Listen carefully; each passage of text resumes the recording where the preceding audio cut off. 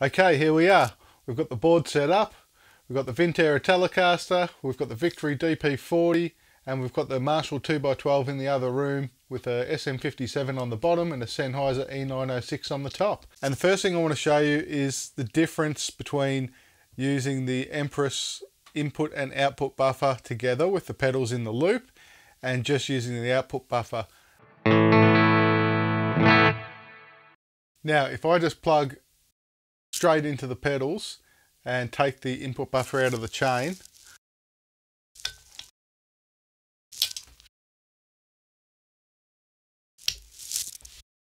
I find I get a lot more of the mid-range back um, and it's less sterile sounding, feels more like I'm plugged straight into the front of the amp.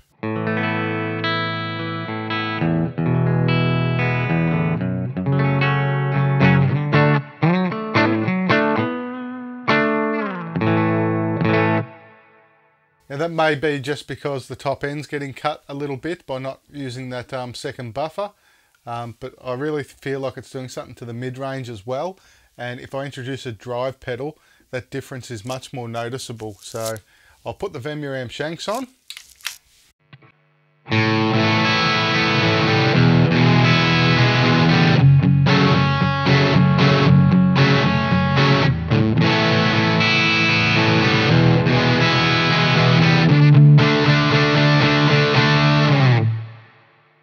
And now I'll plug in through the input buffer.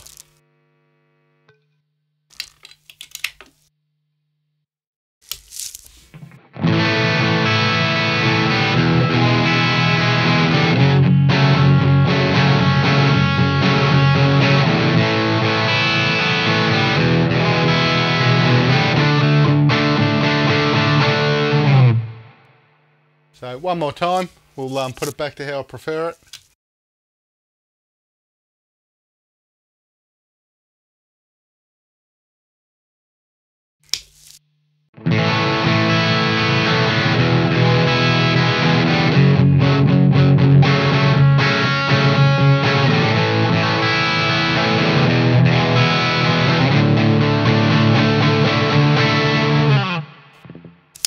Cool.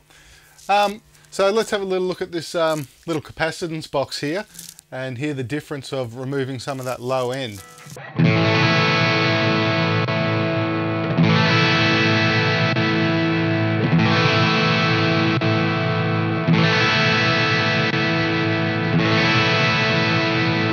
So that's a fair bit there um, and I find it really clears up your overdrive sound and makes all the um, all the single notes pop out. So let's have a listen to that.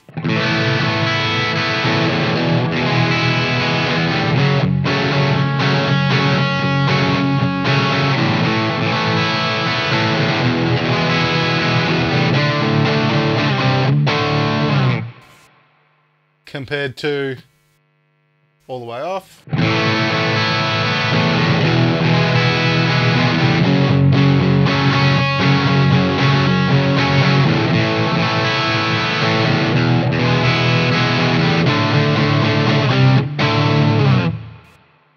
So it just really cleans things up. So I'm going to set it back halfway there. There is another notch there.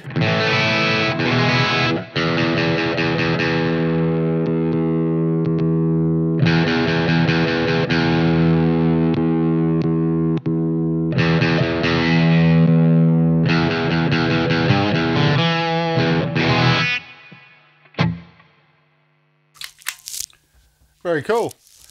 Okay, let's go through the pedals one by one. So the first thing we've got in line is the drop. Uh, I might put on the light speed for this one.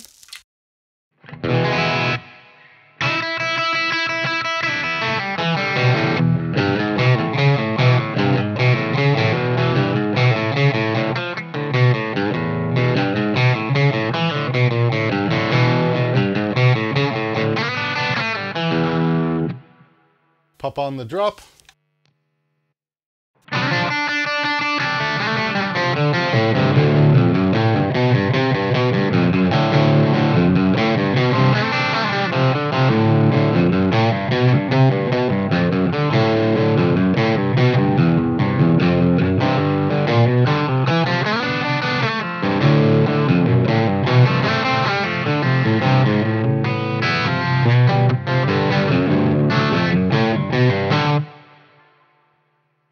Yeah, so you can see where that could come in handy. Um, will play along to a bit of Stevie or Guns N' Roses, Metallica. There's plenty of people that tune down to E flat. Um, might also come in handy um, if your singer wants to try some um, some different keys as well, and you don't want to muck around trying to learn where to um, how to play the progressions differently on the neck. So the next thing in the chain is the Supro. Might just hear the Supro by itself because the Supro has gain in it as well.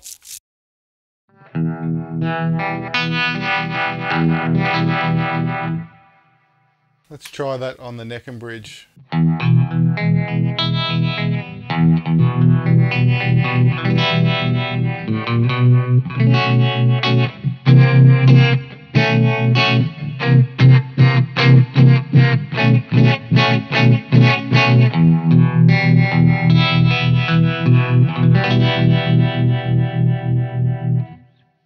It's a harmonic tremolo, so it sort of goes a bit into phaser territory, which I really, really love. Um, the next pedal on the board is the Phase 90. Now my favourite thing for the Phase 90 is just um, a bit of this.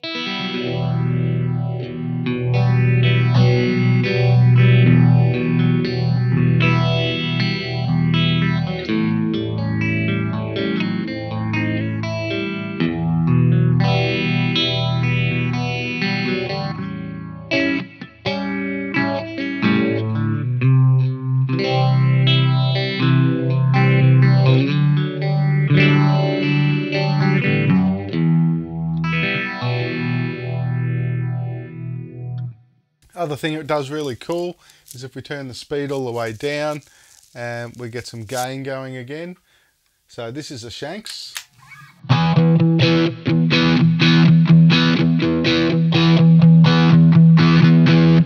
Just gives me a bit of subtle movement and for a riff like that I'd like to bring in the light speed and get a little bit more gain. So flick down to the bridge pickup.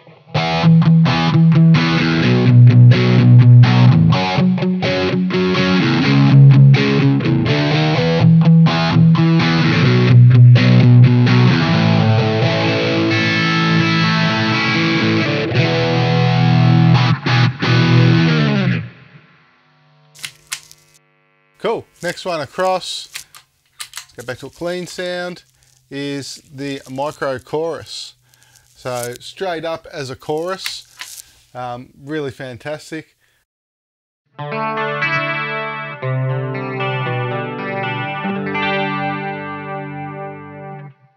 It's just a real basic chorus, which is what I like. Um, might go back onto the neck and bridge.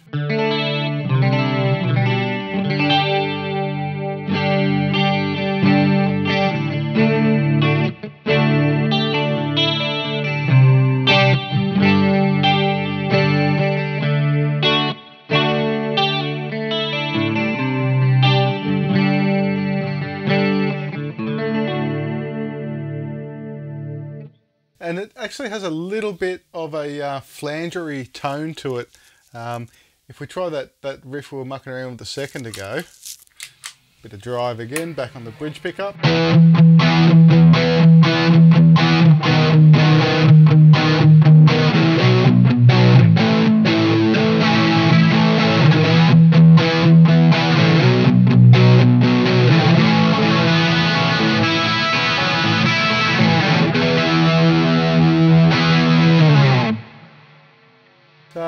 Just a little bit of a flangery quality going on there. If you turn it all the way up, um, you can get that black hole sun rotary sort of thing going.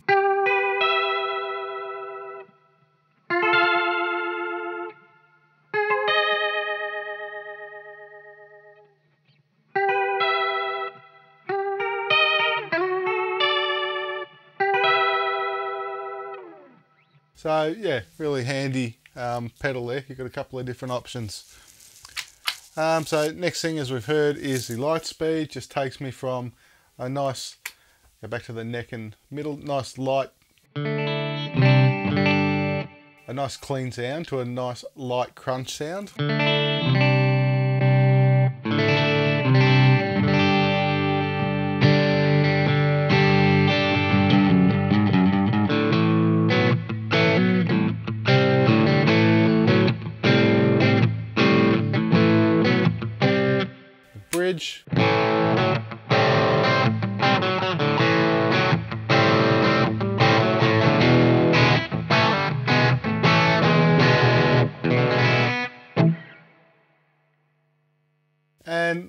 We bring in the, the shanks,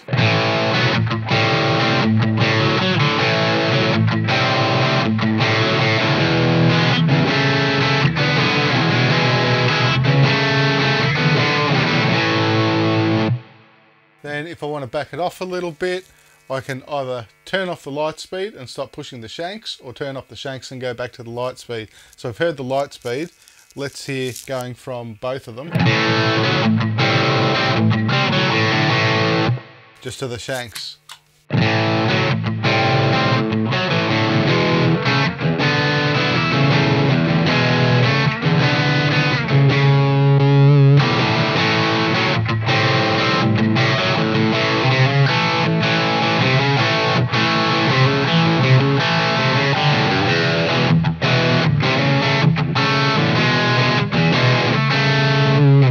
Just the light speed.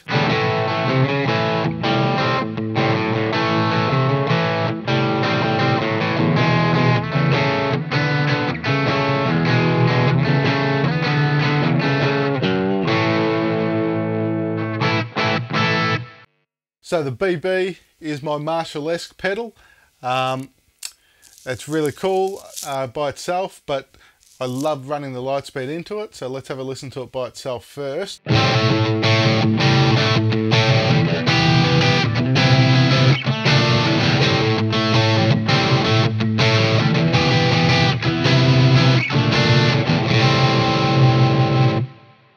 And with the Lightspeed. real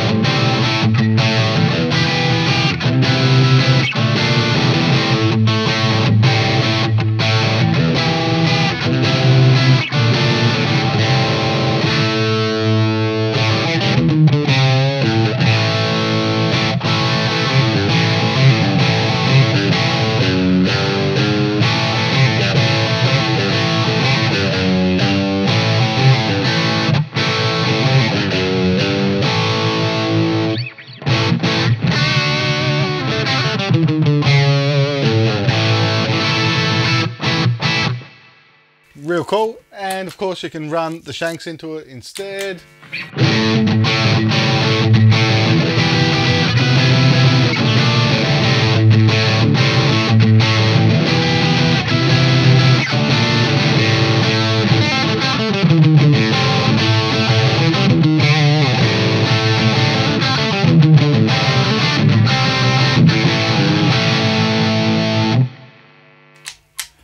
So the last pedal in the drive chain is a JHS Muffuletta. Um, we all know what that's for.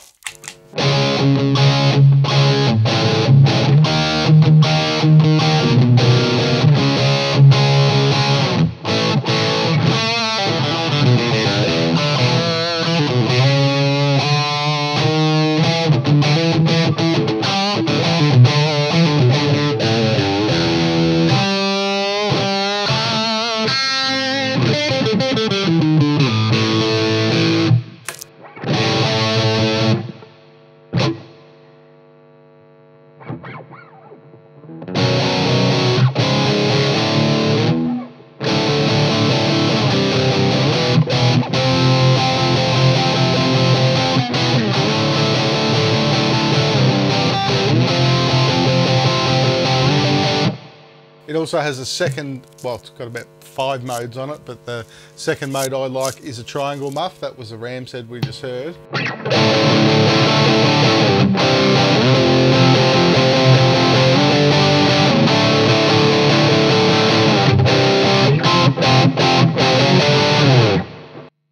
So the drop has a little hidden trick up its sleeve. That's a high and low octave. Sounds a little something like this.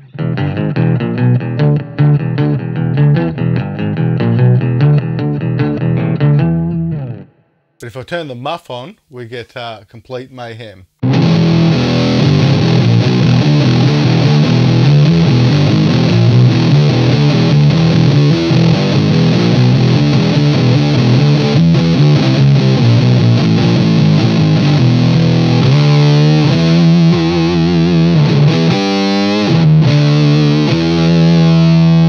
So the JHS boost pedal uh, is next in the chain. Um, this is an amazing solo boost. Uh, so let's go for our Marshall-esque tone.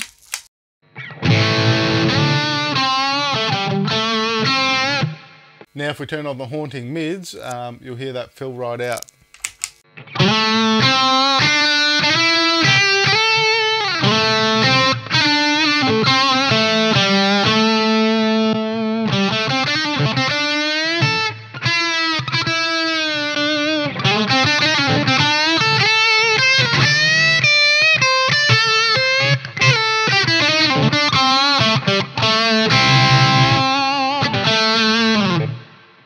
We can sweep those mids, we can get it a bit lower. I might even boost them a bit more so you can hear it easier.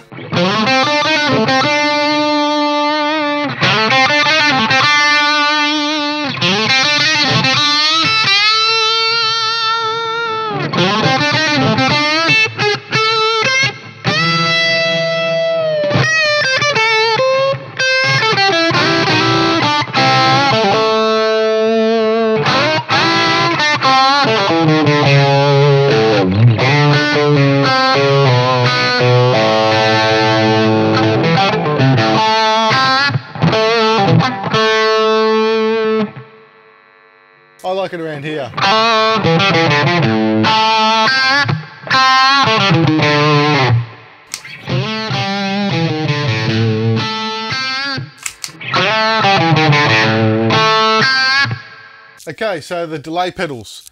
Um, I've got an analog delay which I use for a short delay into a digital long delay.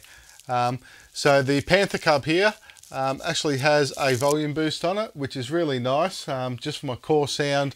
This is pretty much always on which is driving the front end of the amp a little bit so here it is with it off.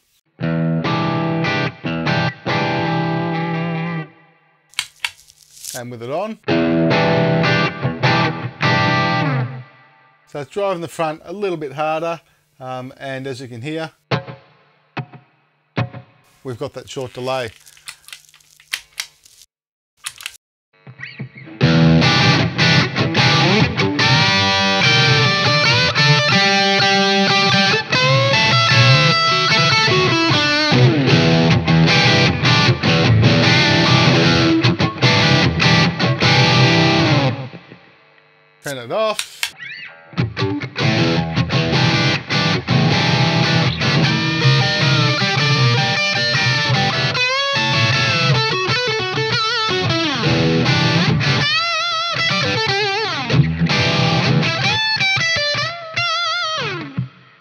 Back on.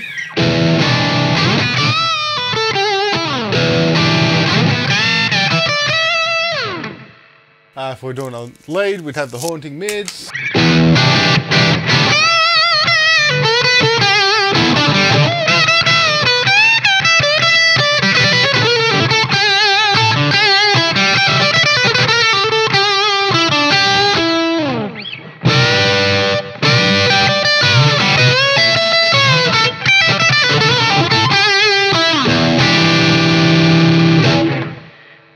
And then we've got our uh, long delay.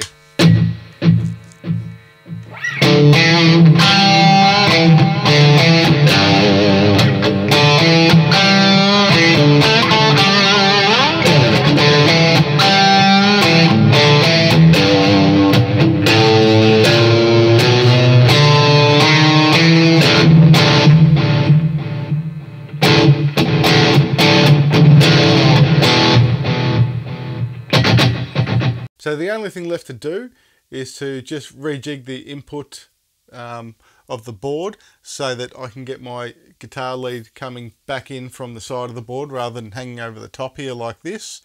Um, Voodoo Labs sell a great little patch bay, two-way patch bay um, called the Dingus that's going to mount underneath here right next to the Empress so that'll work out really well. Um, so I'll have to order one of them in through Eastgate Music and that's pretty much it. Um, I'm really happy with it. I had great fun doing it. I hope you guys had uh, great fun watching the whole process. And if you liked it, please give me a thumbs up and subscribe. And we'll catch you on the next one. Ciao for now.